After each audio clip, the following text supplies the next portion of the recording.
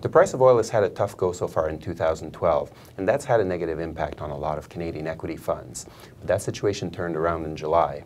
With me to talk about this is Morningstar Canada fund analyst Sarkan Altay. Sarkan, thanks for being here. Now, what exactly happened in July? What, uh, what caused this turnaround? Well, Christian, it was all about Europe. Uh, you know, we hear about Europe, uh, you know, every month. You know, policymakers say one thing, politicians say another. But what made last month very significant was the type of language that was used from, from the ECB president, uh, Mario Draghi. He said uh, that the ECB was prepared to do, you know, quote, whatever it takes to, to preserve the, uh, the, the, common currency. And that had a very significant effect on bond yields uh, and equity markets as well. Uh, a lot of asset classes uh, reacted very positively to that. what we saw was a flight towards dollar-denominated assets, which is why the price of gold also rose.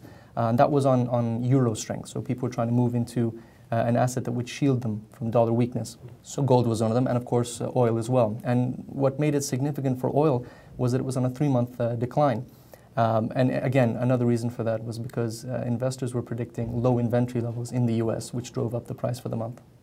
And of course, higher oil prices usually means higher good performance for Canadian equity funds. We saw in, in the month of July the Canadian equity categories were, were some of the best performers, uh, particularly the small caps. We saw returns in the range of 1.1 to 1.3% for the month for the, uh, the Morningstar fund indices that measure these, uh, these categories.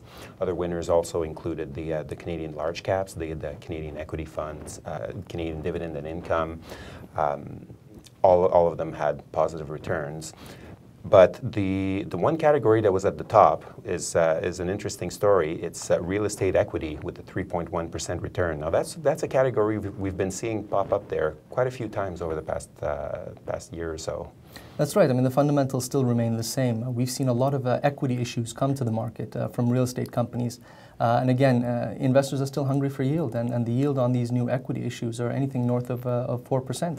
Um, and you know, cap rates are still low and occupancy rates are still high as well. So real estate still remains an attractive option, REITs in particular. And at the bottom of the performance table, we saw, unfortunately, a lot of foreign equity, uh, foreign equity categories. All of them had negative returns. We're not talking about devastating losses, but uh, in the range of 0.3 to 1% for most of them. Uh, particularly hard hit were the Asian equities. Uh, Greater China equity category was down 1.2%, and Japanese equity was down 4.3%. That's right. What last month proved was that uh, no region uh, is safe from a declining eurozone. And because Asian uh, economies are export oriented, uh, they're feeling the pinch very strongly, namely you know, China, Korea, and Japan. Now, uh, what happened in China was uh, manufacturing data came in weaker than expected um, for, the, for the third month in a row. And uh, this exacerbated the situation because uh, Beijing had recently reduced interest rates in order to spur demand, to get banks to lend and, and to, to boost local demand. But that clearly hasn't been the case. Uh, and the Premier came up with some very strong statements that uh, you know the, the, economy is going through a difficult time and that uh, they need to do whatever it takes. Uh, what also happened there was, you know, if you look at the Australian Manufacturers Index, which is a good gauge of, of Chinese demand, uh, because China is their biggest customer, uh, was at a three-year low. So again, those data actually brought down the, the Hang Seng Index significantly for the month. Uh, in, in Japan, it was a mixed bag. Again, industrial production data was, uh, was at an all-time, was at a very low. Um, but again, what happened there was the yen is also still very strong. It's been continuing. It's been the, the best performing uh, currency over the last three months, rallied very strongly against uh, the dollar. Uh, but again, investors are suspecting that uh, Japan's going to post a big trade deficit. Uh, and also that, uh, that was negative for the Nikkei for the month. Thank you very much. It's very interesting.